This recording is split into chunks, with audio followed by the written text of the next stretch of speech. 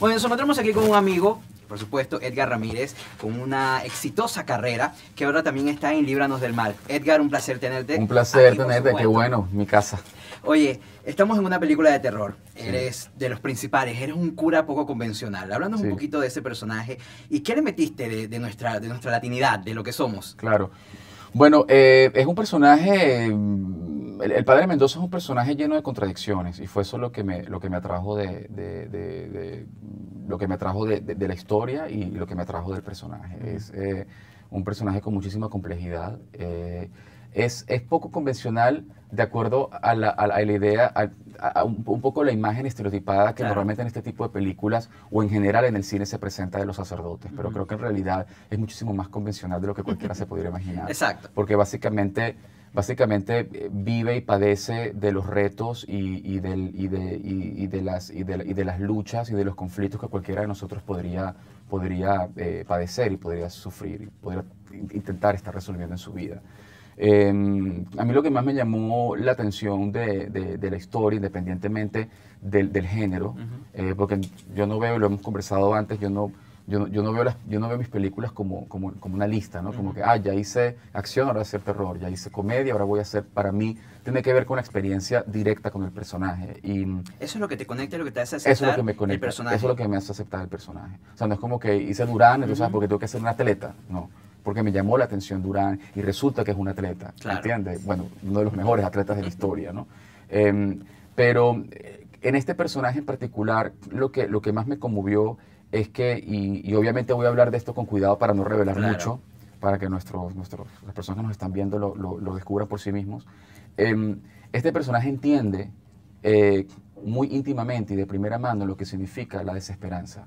O sea, él sabe como hombre, más allá de sacerdote, por cosas que la gente va a descubrir, que tú ya descubriste al ver la película, él, él- él- él- él lidia con demonios propios, muy específicos, que no son invisibles, son bastante reales, y sabe lo que significa no tener control sobre su vida, sabe lo que significa sentirse subyugado por una fuerza más potente que él.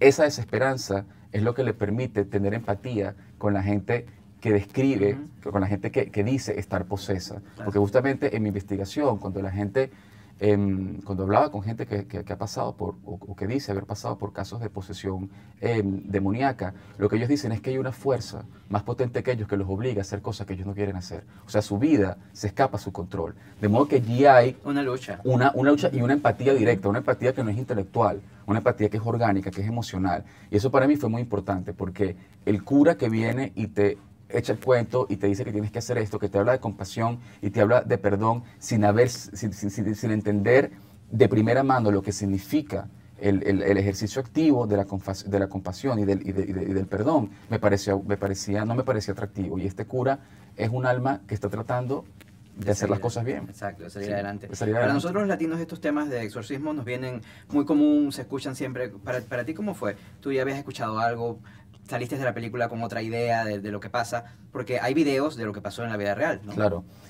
Eh, yo, yo por, por, por, por principio eh, no, no, no practico el escepticismo. Yo creo que ser escéptico eh, para mí iría en contra de la naturaleza de mi, de mi, de mi trabajo y de, y de mi oficio como, como actor. Yo, yo, trato, yo trato estos asuntos eh, con mucho respeto. Eh, y obviamente como latinos nosotros somos mucho más susceptibles, más abiertos a entender estas cosas porque viene el sincretismo cultural y religioso del que estamos hechos como cultura. Eh, pero igual yo trato esto con mucho respeto y, y con una mente abierta. Yo entré en esta película con una mente abierta, transité el proceso con una mente abierta y así, ah, y así, y así abandoné el proceso. Y sí me siento eh, muy... Siento que, que ha habido una expansión de mi, de, de- de mi entendimiento de estos fenómenos y de mi respeto por estos fenómenos. ¿Por qué tú crees que a nosotros los latinoamericanos nos gustan tanto las películas de terror? Siempre son las más vistas. Yo creo que, yo creo que hay, una, hay, hay- hay- hay un elemento de catarsis allí. Eh, eso por un lado. Yo creo que nosotros también vamos al cine como a resolver miedos, urgencias, obsesiones, ¿no? Y, el, terror creo que es un instrumento, el buen terror es un instrumento maravilloso para lidiar con eso. Y por otro lado, creo que tiene que ver con lo que te comentaba antes, que nosotros eh, somos una cultura sincrética.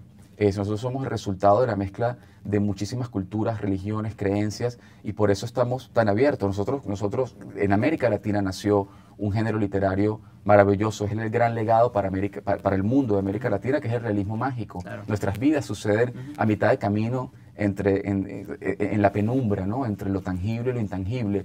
Y, creo que eso es lo que nos hace, lo que nos hace sentirnos tan fascinados por este tipo de cine. Bueno, se nos acaba el tiempo. Felicidades por todo el éxito. Vienen muchas cosas más interesantes. y como te dije, eres como de la familia.